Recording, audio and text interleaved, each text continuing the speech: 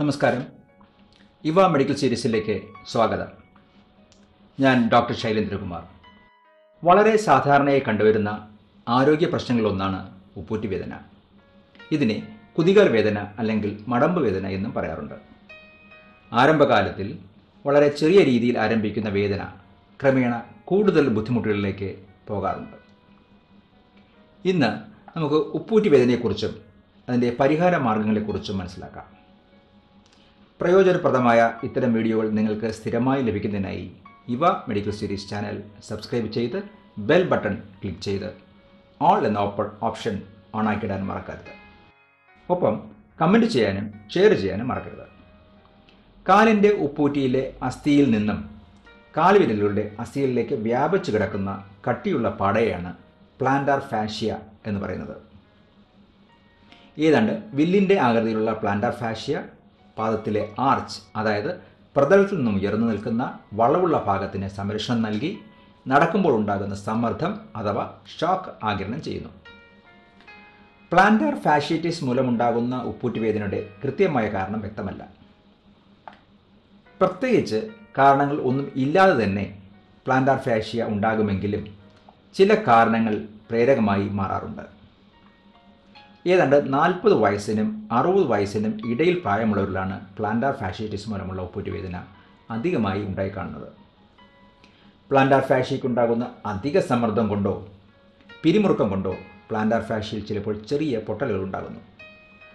അടുപ്പിച്ചുണ്ടാകുന്ന ഇത്തരത്തിലുള്ള വലിച്ചിലും പൊട്ടലും ആ ഭാഗത്ത് നീർവീക്കം സൃഷ്ടിക്കുന്നു. ചിലതരം വ്യായാമങ്ങൾ ബാലറ്റ് ഡാൻസ് എയറോബിക് ഡാൻസ് ദീർഘദൂര ഓട്ടം പോലുള്ള കായിക മത്സരങ്ങൾ തുടങ്ങിയവ ചിലപ്പോൾ ഉപ്പൂറ്റികൾ ക്ഷതങ്ങൾ ഉണ്ടാക്കുന്നതിന് കാരണമാകുകയും അത് പ്ലാന്റാർ ഫാഷൈറ്റിസ് മൂലമുള്ള ഉപ്പൂറ്റി വേദന ഉണ്ടാകുവാൻ കാരണമാകുകയും ചെയ്യുന്നു. ഫ്ലാറ്റ് ഫുട്ട് അഥവാ പരന്ന കാൽപാദം ഹൈ ആർച്ച് ഫുട്ട് അല്ലെങ്കിൽ കാൽപാദത്തിനടിയിലുള്ള അസാധാരണമായ രീതിയിലുള്ള വളവ് അതുപോലെ കാലിന്റെ പ്രത്യേകതകൾ. ഉദാഹരണത്തിന് കാലിനുണ്ടാകുന്ന വളവ് പോലുള്ള കാരണങ്ങളാൽ ഉണ്ടാകുന്ന ഗെയ്റ്റ് അബ്നോർമാലിറ്റീസ് അഥവാ അസാധാരണമായ രീതിയിലുള്ള നടത്തം മൂലം ശരീരത്തിന്റെ ഭാരം ശരിയായ രീതിയിൽ കാൽപാദത്തിലേക്ക് വിതരണം ചെയ്യപ്പെടാതിരിക്കുന്നതും അമിത ഭാരം മൂലം നിൽക്കുമ്പോൾ കാൽപാദത്തിലുണ്ടാകുന്ന സമ്മർദ്ദം തുടങ്ങിയ കാരണങ്ങളാൽ. പ്ലാന്റാർ ഫാഷയ്ക്ക് സമ്മർദ്ദം ഏൽപ്പിക്കുകയും അത് ഉപ്പൂറ്റി വേദനയ്ക്ക് കാരണമാകുകയും ചെയ്യുന്നു. കൃത്യമായ അളവിലല്ലാത്ത പാദരക്ഷകൾ അല്ലെങ്കിൽ ശരിയായ സംരക്ഷണം ലഭിക്കാത്ത പാദരക്ഷകൾ സ്ഥിരമായി ഉപയോഗിക്കുന്നതും ഉപ്പൂറ്റി വേദനയ്ക്ക് കാരണമാകാം. അതുപോലെ തുടർച്ചയായി നിന്ന് ജോലി ചെയ്യേണ്ടി വരുന്ന അധ്യാപകർ ട്രാഫിക് പോലീസുകാർ തൊഴിൽശാലകളിൽ ജോലി ചെയ്യുന്നവർ അധിക ദൂരം നടക്കേണ്ടി വരുന്നവർ തുടങ്ങിയവരിലും ഈ പ്രശ്നം ഉണ്ടായി കാണുന്നു. ഈ രോഗത്തിന്റെ പ്രധാന ലക്ഷണം രാവിലെ കിടക്കിൽ നിന്ന് എഴുന്നേറ്റ് പാദം തറയിലൂന്നി നടന്നു തുടങ്ങുമ്പോൾ ഉപ്പൂറ്റിയിൽ കുത്തുന്ന പോലുള്ള വേദന അനുഭവപ്പെടുന്നു എന്നതാണ്. എന്നാൽ ഏതാനും ചൂടുകൾ നടന്നു തുടങ്ങുമ്പോൾ വേദനയുടെ തീവ്രത കുറഞ്ഞു തുടങ്ങുന്നു. പക്ഷേ വീണ്ടും കുറേ സമയം നിന്ന ശേഷം നടന്നു തുടങ്ങുമ്പോഴും കുറേ സമയം ഇരുന്ന ശേഷം നടന്നു തുടങ്ങുമ്പോഴും വേദന വീണ്ടും അനുഭവപ്പെടാം. അതുപോലെ കൂടുതൽ സമയം നിൽക്കേണ്ടി വരിക കുറേ സമയം ഇരുന്നിട്ട് കസേരയിൽ നിന്നും എണീക്കുക എന്നീ സമയങ്ങളിൽ ഈ വേദന കൂടുതലായി അനുഭവപ്പെടാം. ഉപ്പൂറ്റി വേദന അവഗണിക്കുന്നത് വേദന പലപ്പോഴും സങ്കീർണമാകാൻ കാരണമാകും. അസഹനീയമായ വേദന കാരണം നടക്കുന്ന രീതിയെപ്പോലും ഇത് ബാധിച്ചെന്ന് വരാം. ഇത്തരത്തിൽ നടക്കുന്ന രീതിയിൽ വരുന്ന മാറ്റം പലപ്പോഴും കാൽപാദത്തിനും മുട്ടിനും ഇടിപ്പിനും ചിലപ്പോൾ നടുവിനും പ്രശ്നങ്ങൾ സൃഷ്ടിക്കുന്നതിന് കാരണമാകും. സാധാരണഗതിയിൽ രോഗചരിത്രവും രോഗം ബാധിച്ചിരിക്കുന്ന ഭാഗവും പരിഗണിച്ച് ശാരീരിക പരിശോധനയുടെ രോഗനിർണയം നടത്താവുന്നതാണ്. മറ്റ് പരിശോധനകൾ സാധാരണഗതിയിൽ വേണ്ടി വരാറില്ല. എന്നിരുന്നാലും എക്സ്റേ എം ആർ ഐ എന്നീ പരിശോധനകളിലൂടെ ഉപ്പൂറ്റിയിൽ പൊട്ടലോ അല്ലെങ്കിൽ മറ്റു പ്രശ്നങ്ങളോ ഇല്ല എന്ന് ഉറപ്പുവരുത്തുവാൻ കഴിയും. എക്സ്റേ പരിശോധനയിൽ ചിലരിൽ ഉപ്പൂറ്റിയിലെ എല്ലിൽ ചെറിയ വളർച്ച കാണാൻ കഴിയും. ഇതിനെ സ്പർ എന്നാണ് പറയുന്നത്. മുൻകാലങ്ങളിൽ ഈ പറഞ്ഞ സ്പർ ആണ് ഉപ്പൂറ്റി വേദനയ്ക്ക് കാരണമാകുന്നത് എന്ന് കരുതി പോരുകയും അതിനെ ശസ്ത്രക്രിയയിലൂടെ എടുത്തു മാറ്റുകയും ചെയ്തിരുന്നു. എന്നാൽ ഈ പറഞ്ഞ സ്പർ ഉള്ള ഒട്ടുമിക്ക ആൾക്കാരിലും ഇത് പലപ്പോഴും പ്രത്യേകിച്ച് പ്രശ്നങ്ങളൊന്നും തന്നെ സൃഷ്ടിക്കാറില്ല എന്നാണ് കണ്ടുവരുന്നത്. പ്ലാന്റാർ ഫാഷൈറ്റിസ് മൂലമുള്ള വേദന കുറയ്ക്കുവാൻ ചില കാര്യങ്ങൾ ശ്രദ്ധിക്കേണ്ടതുണ്ട്. അമിതവണ്ണമുള്ളവർ അവരുടെ ശരീരഭാരം ആനുപാതികമായ രീതിയിൽ നിലനിർത്തണം. കൃത്യമായ അളവിലുള്ള പാദരക്ഷകൾ ഉപയോഗിക്കുക. ഉയർന്ന ഹീലുള്ള പാദർശകൾ ഒഴിവാക്കി പരന്ന പ്രതലമുള്ള പാദർശകൾ തിരഞ്ഞെടുക്കുക.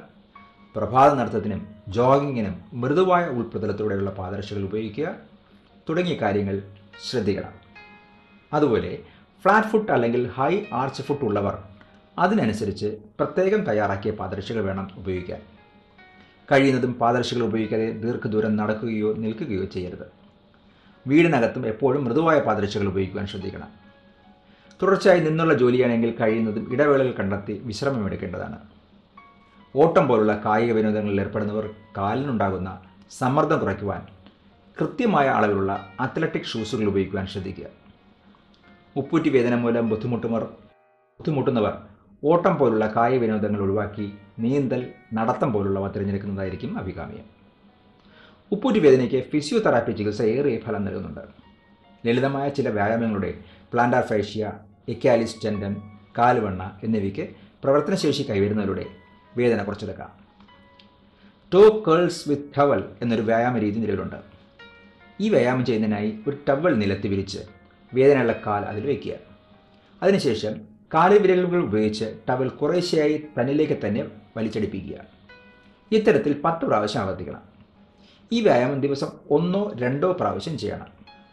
അതുപോലെ ടോ എക്സ്റ്റൻഷൻ എന്ന മറ്റൊരു വ്യായാമ രീതി നിലവിലുണ്ട്. ഈ വ്യായാമം ചെയ്യുന്നതിനായി വേദനയുള്ള കാൽ വേദനയില്ലാത്ത കാലിലേക്ക് കുറുകെ മടക്കി വയ്ക്കുക. കൈകൊണ്ട് വേദനയുള്ള കാലിലെ വിരലുകൾ മടക്കി പിടിച്ച് ആംഗിൾ അഥവാ കണങ്കാൽ കഴിയുന്നത്ര മുകളിലോട്ട് മടക്കുക. ഒപ്പം മറ്റേ കൈകൊണ്ട് കാൽഭാഗത്തെ വളവുള്ള ഭാഗത്ത് അതായത് ആർച്ചിൽ ആഴത്തിൽ മസാജ് ചെയ്യുക. ഇതൊരു പത്ത് സെക്കൻഡ് നേരം തുടരണം. വീണ്ടും രണ്ട് മൂന്ന് പ്രാവശ്യം ഇത് ആവർത്തിക്കുക. ഈ വ്യായാമം ഒരു ദിവസം തന്നെ രണ്ട് മുതൽ നാല് പ്രാവശ്യം ചെയ്യണം. മറ്റൊരു വ്യായാമ രീതിയാണ് സ്റ്റാൻഡിംഗ് കാഫ് സ്ട്രെച്ച് എന്ന വ്യായാമ രീതി. ഈ വ്യായാമം ചെയ്യുന്നതിനായി നിവർന്ന് നിന്നുകൊണ്ട് കൈ രണ്ടും ചുമരിൽ വയ്ക്കുക. അതിനുശേഷം ഒരു കാൽപാദം മുന്നിലോട്ടും മറ്റേ കാൽപാദം പിന്നിലോട്ടും വയ്ക്കുക. പുറകിലത്തെ കാലുമുട്ട് വളയാതെ ഉപ്പുരിയിൽ തറയിൽ നിരപ്പായി വരുന്ന രീതിയിലും മുന്നിലത്തെ കാലുമുട്ട് വളഞ്ഞു വരുന്ന രീതിയിലും വേണം നിൽക്കാൻ. ഈ രീതിയിൽ നിൽക്കുമ്പോൾ കാൽവണയിൽ ചെറിയൊരു വലിച്ചിൽ അനുഭവപ്പെടും. ഏതാണ്ട് നാൽപ്പത്തിയഞ്ച് സെക്കൻഡ് ഈ രീതിയിൽ നിന്ന ശേഷം പൂർവസ്ഥിതിയിലോട്ട് വരാം. രണ്ട് മൂന്ന് പ്രാവശ്യം ഇത് ആവർത്തിക്കണം. ഈ വ്യായാമം ദിവസം നാല് മുതൽ ആറ് പ്രാവശ്യം ചെയ്യണം. ടവൽ സ്ട്രെച്ച് ആണ് മറ്റൊരു വ്യായാമ രീതി. ഈ വ്യായാമം ചെയ്യുന്നതിനായി ഇരുന്നിട്ട് കാൽ മുന്നിലോട്ട് നീട്ടി വയ്ക്കുക ഒരു ടവൽ കൊണ്ട് കാൽപാദത്തെ ചുറ്റിപ്പിടിച്ച് പതുക്കെ ഉള്ളിലോട്ട് നാൽപ്പത്തിയഞ്ച് സെക്കൻഡ് നേരം വലിച്ചു പിടിക്കുക. തുടർന്ന് പൂർവസ്ഥിതിയിലോട്ട് വരണം. ഇത് രണ്ട് മുതൽ മൂന്ന് പ്രാവശ്യം ആവർത്തിക്കാം. ഇത് ചെയ്യുമ്പോൾ കാൽവണ്ണ വലിയുന്ന ഒരു തോന്നൽ ഉണ്ടാവും. ഈ വ്യായാമം ദിവസവും നാല് മുതൽ ആറ് പ്രാവശ്യം ചെയ്യണം. ടബിൾ സ്ട്രെസ് രാവിലെ എണീക്കുന്നതിന് മുമ്പ് ചെയ്യുകയാണെങ്കിൽ രാവിലെ എണീക്കുമ്പോഴുള്ള ഉപ്പുറ്റി വേദനയ്ക്ക് ആശ്വാസം ലഭിക്കുന്നുണ്ട്.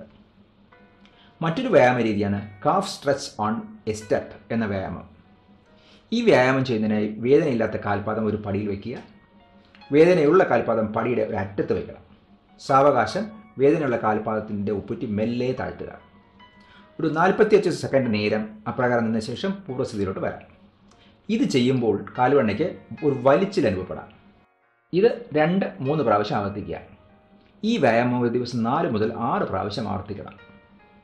മറ്റൊരു വ്യായാമ രീതിയാണ് ഐസ് മസാജ് ആർച്ച് റോൾ എന്നത്. ഈ വ്യായാമം ചെയ്യുന്നതിനായി വേദനയുള്ള കാൽപാദം തണുപ്പിച്ച വെള്ളം നിറച്ച കുപ്പിയിലോ അല്ലെങ്കിൽ ഒരു ടെന്നീസ് ബോളിലോ വെച്ച് കാൽപാദം മുന്നിലോട്ടും പിന്നിലോട്ടും ചലിപ്പിക്കുക. ഇത് മൂന്ന് മുതൽ അഞ്ച് മിനിറ്റ് നേരം ചെയ്യണം. ഈ വ്യായാമം ദിവസം രണ്ട് പ്രാവശ്യം ആവർത്തിക്കാം ഈ പറഞ്ഞ വ്യായാമങ്ങളെല്ലാം ഒരു ഡോക്ടറുടെയോ അല്ലെങ്കിൽ ഒരു ഫിസിയോതെറാപ്പിസ്റ്റിന്റെ മേൽനോട്ടത്തിൽ വേണം ചെയ്തു തുടങ്ങുവാൻ. സാധാരണഗതിയിൽ പ്ലാന്റാർ ഫാഷൈറ്റിസ് മൂലമുള്ള ഉപ്പുറ്റി വേദന കൺസർവേറ്റീവ് ട്രീറ്റ്മെന്റ്സ് അല്ലെങ്കിൽ പരിപാലന ചികിത്സയിലൂടെ സുഖപ്പെടുത്താൻ കഴിയും. വേദനയുള്ളപ്പോൾ ശരിയായ രീതിയിൽ വിശ്രമം എടുക്കണം വേദനയുള്ള ഭാഗത്ത് ഐസ് ഉപയോഗിക്കുന്നത് ആ ഭാഗത്തെ വേദന നീർവീക്കവും കുറയുന്നതിന് സഹായിക്കും. ഇതിനായി ഒരു പ്ലാസ്റ്റിക് കവറിൽ ഐസ് ക്യൂബ് ഇട്ട് അതൊരു ടവലിൽ പൊതിഞ്ഞ് വേദനയുള്ള ഭാഗത്ത് പതിനഞ്ച് മിനിറ്റ് നേരം വയ്ക്കുക. ഇത് ഒരു ദിവസത്തിൽ മൂന്ന് മുതൽ നാല് പ്രാവശ്യം വരെ ആവർത്തിക്കാവുന്നതാണ്. കാൽപാദത്തിന് അടിവശം പരന്നിരിക്കുന്ന ഫ്ലാറ്റ് ഫുട്ട് എന്ന അവസ്ഥയ്ക്ക് കാൽപാദത്തിന്റെ അടിവശത്തെ വളവൽ കൂടുതൽ ഉയർന്നിരിക്കുന്ന ഹൈ ആർച്ച് ഫുട്ട് എന്ന അവസ്ഥയ്ക്കും പ്രത്യേകതരം സ്പ്ലിന്റ് രാത്രി മുഴുവൻ ഉപയോഗിക്കുന്നത് പ്ലാന്റാർ ഫാഷ്യ എക്യാലിസ് ടെൻഡൻ എന്നീ പാടുകളെ വലിച്ചു നീട്ടിയ ലെവൽ നിലയിൽ രാത്രി മുഴുവൻ നിലനിർത്തുവാൻ സഹായിക്കുന്നതിനാൽ പ്ലാനർ ഫാഷൈറ്റിസ് മൂലമുള്ള ഉപ്പുരുവേദനയ്ക്ക് വേദനയ്ക്ക് നിർദ്ദേശിക്കാറുണ്ട്. അതുപോലെ കാൽപാദത്തിന് അടിവശം പരന്നിരിക്കുന്ന ഫ്ലാറ്റ് ഫുഡ് പോലുള്ള അവസ്ഥകളിൽ പ്രത്യേകം തയ്യാർ ചെയ്ത പാദരക്ഷകൾ നിർദ്ദേശിക്കാറുണ്ട്. ഇങ്ങനെ ചെയ്യുന്നത് കാൽപാദത്തിലേക്ക് എത്തുന്ന അമിത സമ്മർദ്ദത്തെ ശരിയായ രീതിയിൽ വിതരണം ചെയ്യപ്പെടുവാൻ സാധിക്കുന്നതിനാൽ വേദന ഉണ്ടാകാതിരിക്കുകയോ അല്ലെങ്കിൽ ഉള്ള വേദന കുറയുകയോ ചെയ്യുന്നു. പ്ലാന്റാർ ഫാഷൈറ്റിസ് മൂലമുള്ള ഒപ്പൂറ്റി വേദനയ്ക്ക് ആധുനിക ചികിത്സയിൽ ഇബുപ്രൂഫൻ നാപ്രോക്സൻ സോഡിയം പോലുള്ള മരുന്നുകൾ വേദനയെ നിർവീക്കം പരിഹരിക്കുന്നതിനായി നൽകുന്നു. സാധാരണ കൺസർവേറ്റീവ് ട്രീറ്റ്മെന്റ്സ് അല്ലെങ്കിൽ പരിപാലന ചികിത്സകൾ ഗുണം ചെയ്യാതെ വരുമ്പോൾ വേദനയുള്ള ഭാഗത്ത് സ്റ്റിറോയിഡ് ഇഞ്ചക്ഷൻസ് എടുക്കാൻ നിർദ്ദേശിക്കാറുണ്ട്. ഇത് വേദനയ്ക്ക് താൽക്കാലിക ശമനം നൽകുന്നു. പക്ഷേ വളരെ അടുപ്പിച്ച് ഇത്തരം ഇഞ്ചക്ഷൻസ് നൽകാറില്ല. കാരണം ഇത്തരത്തിൽ ഇഞ്ചക്ഷൻ എടുക്കുന്നത് പ്ലാന്റ് പ്ലാന്റാർ ഫാഷിയെ ദുർബലപ്പെടുത്തിയേക്കാം. ഇത് പ്ലാന്റാർ ഫാഷിയിൽ വീണ്ടും കീറൽ ഉണ്ടാക്കുവാൻ കാരണമാകാം. അൾട്രാസൗണ്ട് ഉപയോഗിച്ച് രോഗിയുടെ രക്തത്തിൽ നിന്നും പ്ലേറ്റ്ലെറ്റുകൾ നിറഞ്ഞ പ്ലാസ്മ വേർതിരിച്ചെടുത്ത് രോഗിയുടെ ശരീരത്തിൽ തന്നെ കുത്തിവയ്ക്കുന്ന മറ്റൊരു ചികിത്സാ രീതി നിലവിലുണ്ട്. അതുപോലെ extra corporeal shock wave therapy എന്നൊരു ചികിത്സയും നിലവിലുണ്ട്. ഇതിൽ വേദനയുള്ള ഭാഗത്ത് ശബ്ദ തരംഗങ്ങൾ പതിപ്പിച്ചാണ് ചികിത്സ നടത്തുന്നത്. പലപ്പോഴും മറ്റ് ചികിത്സകൾ പരാജയപ്പെടുമ്പോഴാണ് ഇത് നിർദ്ദേശിക്കാറ്. അൾട്രാസോണിക് ടിഷ്യൂ റിപ്പയർ എന്ന മറ്റൊരു ചികിത്സാ രീതി നിലവിലുണ്ട്. ഇതിൽ അൾട്രാസൗണ്ട് സഹായത്തോടെ സൂചി പോലുള്ള ഒരു ഉപകരണം അതായത് പ്രോബ് തകരാറ് സംഭവിച്ച പ്ലാന്റാർ ഫാഷ്യയിൽ എത്തിച്ച് അൾട്രാസൗണ്ട് തരംഗങ്ങൾ സന്നിവേശിപ്പിച്ച് തകരാറ് സംഭവിച്ച ഫാഷ്യയെ ഒട്ടിച്ച് പുറത്തോട്ട് വലിച്ചെടുക്കുന്നു മറ്റു ചികിത്സകൾ പരാജയപ്പെടുകയും വേദന അതികഠിനമായിരിക്കും ചെയ്യുമ്പോഴാണ് ശസ്ത്രക്രിയ നിർദ്ദേശിക്കാറ്. ഉപ്പൂറ്റി വേദനയ്ക്ക് വളരെ ഫലപ്രദമായ മരുന്നുകളാണ് ഹോമിയോപ്പതി വൈദ്യശാസ്ത്രത്തിൽ നിലവിലുള്ളത്. വേദനയുടെ കാരണങ്ങൾ കണ്ടെത്തി അവ ഒഴിവാക്കുന്നതിലൂടെയും കൃത്യമായ വ്യായാമങ്ങൾ ചെയ്യുന്നതിലൂടെയും ഉപ്പൂറ്റി വേദന പൂർണമായും മാറ്റിയെടുക്കാം എല്ലാ തിങ്കളാഴ്ചകളിലും രാവിലെ പതിനൊന്ന് മണിക്ക് വിവിധ വൈദ്യശാസ്ത്ര വിഷയങ്ങളിലായി പുതിയ വീഡിയോകൾ ഈ ചാനലിൽ റിലീസാകുന്നുണ്ട്. പോലുള്ള വിജ്ഞാനപ്രദമായ വീഡിയോകൾ നിങ്ങൾക്ക് സ്ഥിരമായി ലഭിക്കുന്നതിനായി ഇവ മെഡിക്കൽ സീരീസ് ചാനൽ സബ്സ്ക്രൈബ് ചെയ്ത് ഒപ്പം ബെൽ ബട്ടൺ ക്ലിക്ക് ചെയ്ത് ഓൾ എന്ന ഓപ്ഷൻ ഓണാക്കിയിടുക അതിനൊപ്പം ഷെയർ ചെയ്യാനും കമന്റ് ചെയ്യാനും മറക്കരുത്. അടുത്ത ആഴ്ച പുതിയൊരു വിഷയമായി നിങ്ങളുടെ മുന്നിൽ എത്തുന്നതായിരിക്കും. അതുവരെ നന്ദി നമസ്കാരം. Thanks for watching like Comments.